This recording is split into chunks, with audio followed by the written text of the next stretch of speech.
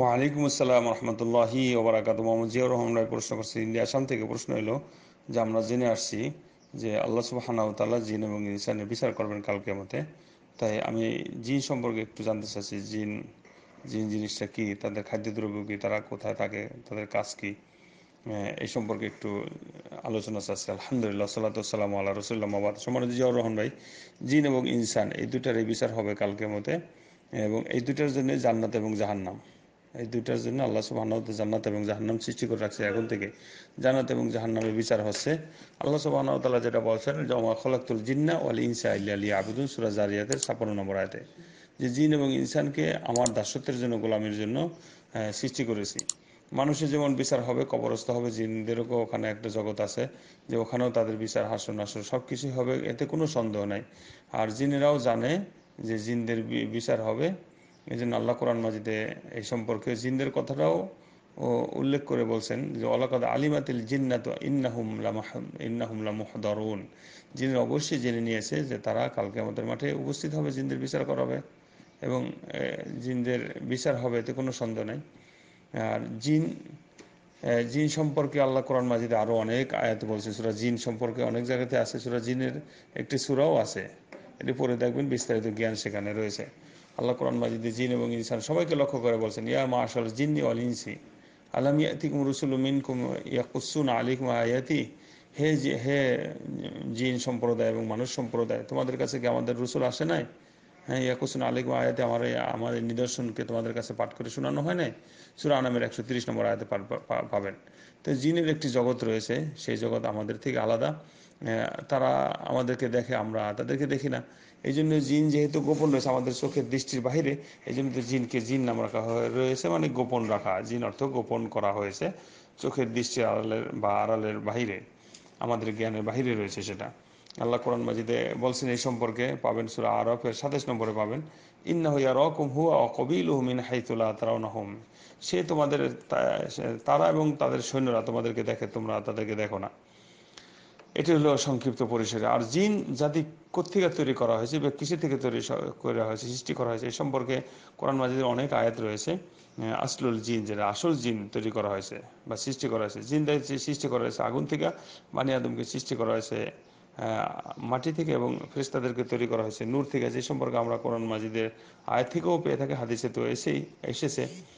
যেমন কোরআন মাজিদ আল্লাহ বলছে জান নখলাক না মিন কবলি মিন নার ইসামুম সুরা রহমানের পনেরো নম্বর আল্লাহ বলছে অখলাকাল জান্না মিম্মার জিম্মিনার অখলাকাল জান্না মিম্মার জিম্মিনার সুরা রহমানের পনেরো নম্বরতে জিন জাতিকে সৃষ্টি করেছে আগুনের শিখা থেকে। আর হাদিসে আয়সারা জালান থেকে বর্ণিত যেটা মুসলিমের হাদিসে পাবেন পাঁচ হাজার তিনশো চোদ্দ নম্বরে, নাবি সাল্লাহ সাল্লাম বলেছেন, খুলিকাতিল মালাইকে তুমি নূর অখুলিকাল জান মিন্নার অখুলিকা আদম মিমা উসিফ আলাকুম যে ফেরিস্তাকে সৃষ্টি করা হয়েছে নূর থেকে আর জিন জাতিকে সৃষ্টি করা হয়েছে আগুন থেকে এবং বানি আদম খুলিকা আদম এবং আদম আলাইসলাম সৃষ্টি করা হয়েছে মিমা উসিবুল আগুন তোমাদের এই বৈশিষ্ট্য থেকে। এবার আমরা জানব যে আসনাফুল জিন, জিনদের প্রকার আসলে। জিনদের প্রকার রয়েছে জিন অনেক জাতি, কোনো কোনো জিন আছে কুকুরের মতো সৃষ্টি করা হয়েছে, কুকুর হিসাবে সুরের শেখের শুরুতে কুকুর, কোনটা আছে সাপ, কোনটা আছে হাওয়ার মতো, পাখির মতো ওরে কোনটা আছে হাওয়ার মতো কোনটা পাখির মতো কোনটার মধ্যে ডানা আছে কোনটা ডানা ছাড়া নাই কোনটা জমিনে চলাফেরা করে, ইত্যাদি এই ধরনের আছে। একটি হাদিস আল্লাহ নবী সাল্লাহ সাল্লাম বলেছেন, হাদিসটি পাবেন। তহাবির গ্রন্থে, ফি মুশকিল আথার গ্রন্থে, চার নম্বর কর্ণে পঁচানব্বই নম্বরে রয়েছে। সেটা হলো কি? যে জিনদের সম্পর্কে বলা হয়েছে, জিন হইল আল জিন্নু সালাসাতু আসনাম, জিনেরা তিন প্রকার। সিনফুন লাম আজনি হাতুন ইয়াতিরুনা ফিল হাওয়া, এক প্রকার আছে তাদের সাথে ডানা আছে হাওয়াতে ওরে। আরেক প্রকার সিনফুন, হাইয়াতুন ও কিলাবুন আরেক প্রকার আছে সাপ এবং কুকুর, আরেক প্রকার আছে হাইলুনা ওয়াদাউনা ওয়াদনা ওয়াদ আনুনা তারা চলাফেরা করে এখানে সেখানে নামে বা অবতরণ করে।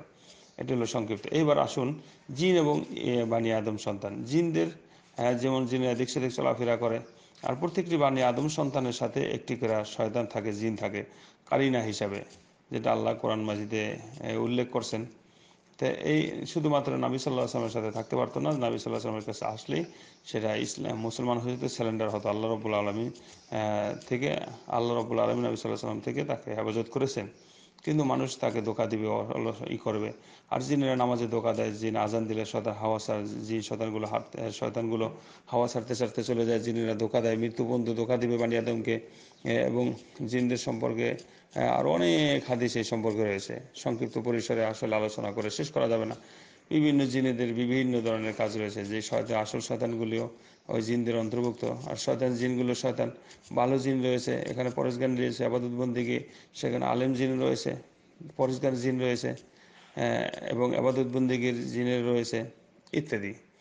তারপরে জিনদের খাদ্য এবং তাদের পানীয়। জিনদের খাদ্য এবং পানীয় সম্পর্কে যেটা আবদুল্লাহ বিন মাসুদ রাজনতর হাদিসে বর্ণিত আছে। আল্লাহ রসুল সাল্লাহ সাল্লামের হাদিস, সেটা মুসলিমের হাদিসে পাবেন পাঁচশো পঞ্চাশে, বোখারির হাদিসে পাবেন তিন হাজার পাঁচশো একাত্তরে। যে নবী সাল্লাহ সাল্লাম বলেন আমার কাছে জিনের আসলো, তখন ফকরা তো আলিম আমি তাদের কাছে পড়লাম আমাদের আমাকে নিয়ে চলে গেল এবং তাদের আগুন বা থাকার স্থান তাদেরকে দেখাইলো, দেখানো হলো তখন তারা আমার কাছে খাদ্যদ্রব্য সম্পর্কে জিজ্ঞেস করল ফাদা আউতুল্লাহ আলাহুম আমি তাদের জন্য দোয়া করলাম আল্লাহ ইয়ামুর্রু বি আজমিন ওয়ালা বি রৌথিন ইল্লা ওয়াজাদু আলিহা তো আমান যদি তারা কোনো হাড্ডির নিকট দেওয়া যায়, তখন সেখানে খাদ্য পাবে এবং তাদের পশুদের, অর্থাৎ গোবরের নিকট দেওয়া গেলে তাদের পশুদের খাদ্য সেখানে তৈরি হবে। এই সম্পর্কে হাদিস আছে স্পষ্ট আরও কিছু হাদিস আমি সংক্ষিপ্ত পরিসরে বললাম। এই জন্য আল্লাহ রসুল সাল্লাহ হাড্ডি এবং গোবর দ্বারা ইস্তেঞ্জা করতে নিষেধ করেছেন।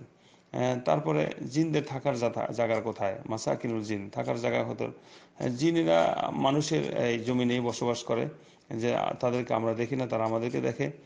জিনেরা যেমন টয়লেটে থাকে, হা, টয়লেটে, তারপর ময়লা আবর্জনার জায়গা থাকে, তারপর যেখানে দুর্গন্ধময় জায়গা, গাছপালা, পুকুর টুকুর, বনের জঙ্গল, এখানে সেখানে থাকে।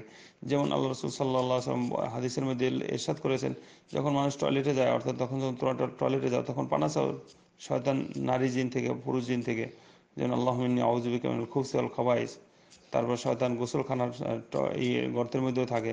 ইত্যাদি ইত্যাদি অনেক জায়গায় জিন থাকে। মানুষ যখন ঘুমায় তখন শয়তান বা জিনগুলো নাকের ভিতরে অবস্থান করে। আর ইন্নার সাথে আল্লাহ খাইসুমিহি, মানুষের নাকের ভিতরে অবস্থান করে। এরকম ইত্যাদি আছে, হাদিসে বর্ণিত আছে। তারপরে জিনরা মানুষের, জিনদের মানুষের, জিনরা মানুষের কাছে আসে, এসে বিভিন্ন প্রকার দোকা দেয় অসহসা দেয় মন্ত্রণা দেয়, বিভিন্ন প্রকার জ্বালা যন্ত্রণা করে। আবার কিছু মানুষও আছে জিনদের সাথে ওঠা বসা করে, জিনদের হাজির করে, এই করে সে করে, মানুষের এই করে, ইত্যাদি অনেক বর্ণনা জিন সম্পর্কে রয়েছে। আমি সংক্ষিপ্ত পরিসরে দু একটি কথা বললাম।